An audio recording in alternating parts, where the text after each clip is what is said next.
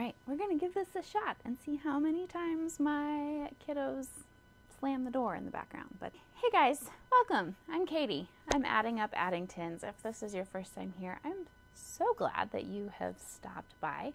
Um, I am a mother of eight. We are former foster parents. We're an adoptive family. We homeschool. Uh, my husband owns a small business. And we just sort of cover all of the things because our intent and goal with being here on YouTube is to encourage you guys. So if you haven't already, I would love for you to hit the subscribe button and stick around with us because uh, we love to get to know you and hopefully you find some encouragement along the way. All right, so um, if you follow me on Instagram, you might have seen that um, I'm having some technology problems this week the hard drive on my computer is shot. Um, and so thankfully, I married the world's best IT guy, um, but I do have to try to get into his schedule. So it's going to be a little bit before I have access to my full professional editing software and whatnot. So I'm working on my good old smartphone here and doing the best I can. So I did come up with some new footage that I didn't already have on my computer. Um, so I thought it might be kind of fun to do a little Q&A. Um, so I asked on Instagram for some questions. Um, so I have those and I'm just going to answer them. I'll probably get a little chatty because I do. Uh, but anyway, let's jump into it. All right, so the very first question I got was, do you cut your hair? Yes. Yes, I cut my hair. Um, if you don't know, my hair is really super crazy long. I actually don't even know how long it is, but when it's not braided, it comes in just above my knees. Um, but I have not worn it that way my whole life. It's been like chin length more than once. Um, I have donated uh, like two feet at a time, probably five or six times in my life. Um, and really I only started letting it grow super long um, when I got pregnant with my third child who is now six. Um, so this is really only like six or seven years worth of growth and I've had it trimmed like at least four times during that time, anywhere from like four to eight inches range. Uh, so anyway, I have a video that I did with our family friend Taylor where he and I just sit and kind of chat uh, long hair care and he was actually here at my house to cut my hair that day. So you can see that he takes off a good four or five inches um, in that video. So yes, I cut my hair. It just naturally grows really stupid fast. So uh, I am not a lifetime Rapunzel. This is a recent development. The next one was Will you ever open your home to more foster kiddos in the future? Um, and as of right now, we do not have any plans to. Um, we actually have more children than our state allows in a foster home. In Tennessee, here they um, the cap is six kids um, in your family, and um, so our first adoption of our younger two girls actually put us at numbers five and six. Um, we were granted a special exemption to adopt our oldest daughter, who was already in our home at that point. Um, so that was number seven. And then I had another baby um, after that. So we have eight kids. Um, so we have too many to open up as a traditional foster home. The one exception to that could be potentially if one of our girls had a biological sibling um, show up along the line, we could um, be a kinship placement there, but um, that's a pretty big if. So um, we do not have any plans at this point. By the time we have enough of our kids age out um, or turn 18, um, then they would be considered another adult in the house, even if they still live here. Um, by the time we have enough kids age out, that will that will be another 10 years before we hit that point. So that's assuming nothing else changes in those 10 years, and there are no other children along the way. Um, it'll be at minimum minimum 10 years before we can um, do that. So at this point, I don't have any plans. We don't have any plans. We'll uh, we'll see what happens. I'm not going to say never because that's how you get yourself into trouble. uh, but no plans right now. All right, next up, I was asked, what does your daily schedule look like? Um, I'll be honest, I'm not a big schedule person, or at least I don't feel like I'm a big schedule person. Um, I think other people would probably look at my life and feel like it was relatively scheduled, but um, in my head, I am much more of like a routines person. Um, we have our routines and we have all the things that we need to get done sort of settled into those routines. So, um, like for example, I am not a morning person, uh, never have been, um, and I do not try to get up before my kids in this season of life. I have tried in the past, um, and it my kids just wake up earlier. So, um, sleep is a priority, so I sleep. Um, and I've just um, sort of taught my children how to uh, wait for me while I get dressed for the day. Um, so I do start out, I usually get up, my alarm goes off at 7. I'm not usually out of bed before like 7.30. I'm a reader. I'll read through the headlines, um, a devotional, something like that. And um, anyway, then I get up. I do always get completely dressed and made up and do my hair every single day. Um, I have a video from really early in my channel about that, um, but I'll link it down below if you um, want to check it out. Um, so I do get completely dressed and ready, and then I usually get downstairs. Most of my kids can dress themselves at this point, all but one, um, and the other girls will help her. My um, youngest is two, so her older sisters will kind of help her get dressed most days. If not, I'll grab her on the way downstairs.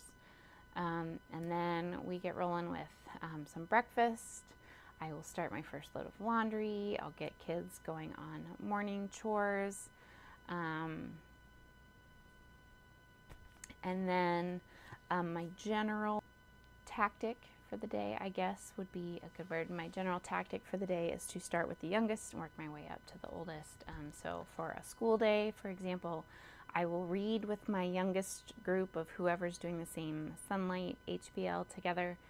Um, I will read with them while the others are either finishing chores or doing independent work or um, playing outside if they're done with everything else. But I'll start with my youngest ones um, and then I will send them to play and I'll do the next group, um, do all the reading and stuff with them, send them out to play or work independently or chores or whatever and then um, work my way up to my oldest ones. So once everybody has done their read aloud, they are done with all the independent work that they can do themselves.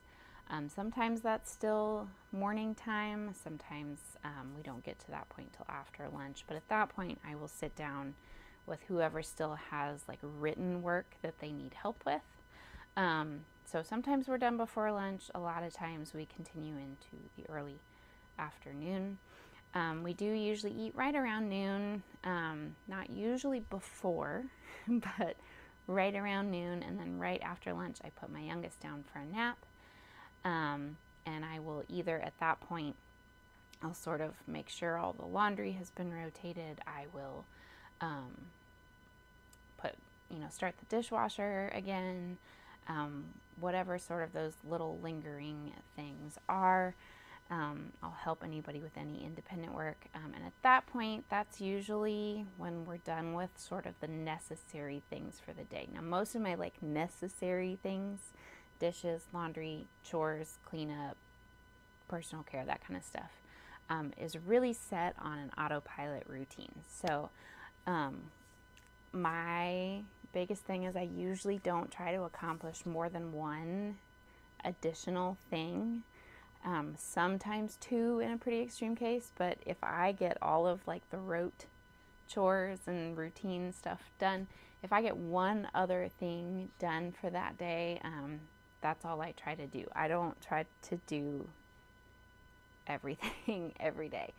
Um, so whether that's edit a video, if that is um, work on an organizing project, if that is taking a kid to an appointment, whatever, um, I only try to fit in one thing that is not part of like the plug and go part of my day. Um, So my youngest gets up by four. Um, I try to have dinner ready around six. Um, and my youngest five kids start getting ready for bed at seven or just before seven. They are usually in bed before 7:30.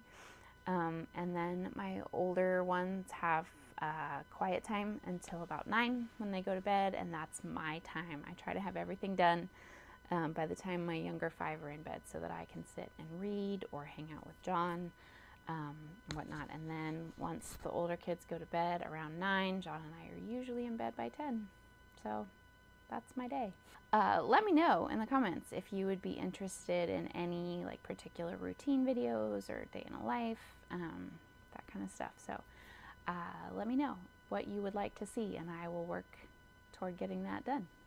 All right, the next one was how do you avoid massive meltdowns when you are out and about with all of your crew together? Um, which is a great question. Uh, my kids are actually pretty good at going out in public. They're really good at traveling. Um, so, but occasionally we do have a meltdown. But um, some of the things that I work on are uh, I review where we're going and why we're going there. So, um, you know, for example, today I said we're going to Kroger to buy a Home Depot gift card. We're not going to walk all over the store. We're not going to get food. We're not going to get snacks. We're going to buy this thing. And then we are going to go to Home Depot and get this thing that we need, um, which is our trick for getting extra gas points by the way. We buy gift cards on the weekend when there are extra gas points, and then we fill up our gas tanks. Bonus. but, you know, I review where we're going and why we're going there on the way um, so that they know, hey, we're not, this isn't a free for all. We're not shopping spree going to get all the candy that we see, right? We're going to this place to get this specific thing or for this purpose. Um, and then when we get there, as we're getting out of the car, before we even walk into the store, we review expectations. You need to stay with me and not run around. Uh, you need to look with your eyes. A quote from the movie The Star, uh, where the camel looks at the other animals, looking at baby Jesus, and says, Look with your eyes. So we, the kids, all say that. Um, so you need to like look at things and not touch them. Um, you need to stay right with me and you need to listen and obey right away. Um, so it's not perfect um, by any stretch of the imagination, but um, they're pretty good about it and they will all kind of help look out for each other. Um, so those are sort of things I do to set us up for success. I do try to like have realistic timing set around outings. Um, I try not to leave like right at lunchtime or, you know, I try not to run over meal times when I can.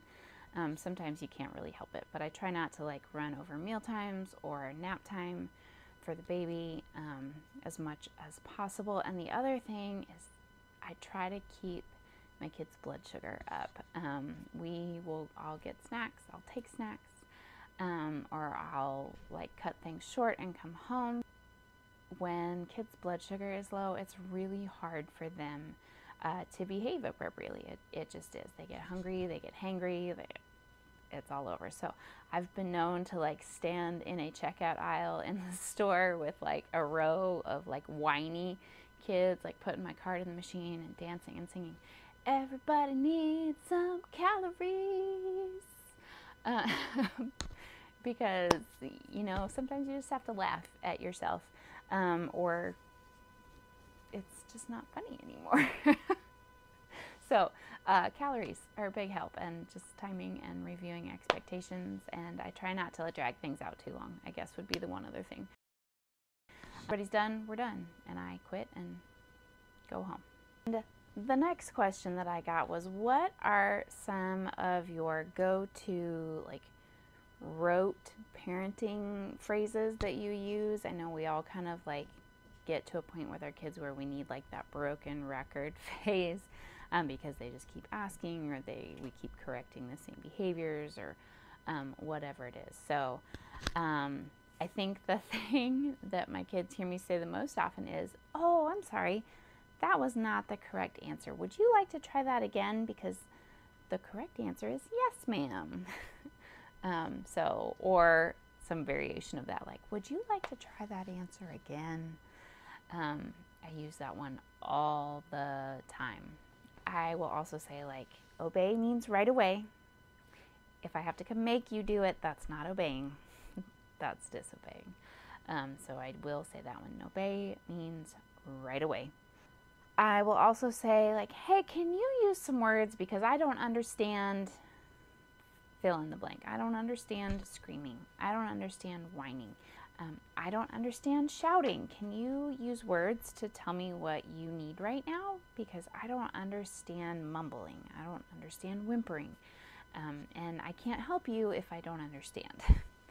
um, so I use that one a lot. And then I think my favorite, like, parenting uh, parenting phrase word is and.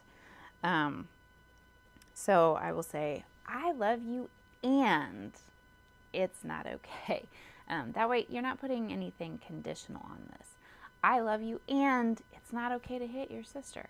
I love you and you may not scream at me. Um, or I'm sorry that you are sad and it's time for bed. I'm sorry that you're frustrated and you can't hit people. Um, you know, that um, the magic word and there leaves room for empathy and grace um, and love while still also allowing your kids the space that, uh, you know, some things are just not okay to do or say um, or treat people or, or whatever. So, and and is a magic word in parenting. Um, I use those all the. So I think I am going to leave it at that for today. Um, again, my computer is a little bit out of commission, so I'm going to be editing this by hand on my phone. Um, it's going to take me a little bit. But thank you so much for being here. Don't forget to subscribe if you haven't already. Give this video a thumbs up if you got some encouragement from it. Um, and if you want to be the first to know when we put out new videos, be sure to hit that notification bell. Uh, let me know what other questions that you have in the comments down below, and I would love to get to them. And uh, let me know what other sorts of content you would like to see if you want to see my morning routine or a day in my life um, or any of those things. Let me know, and we'll see you next time. Thanks for being here. Bye.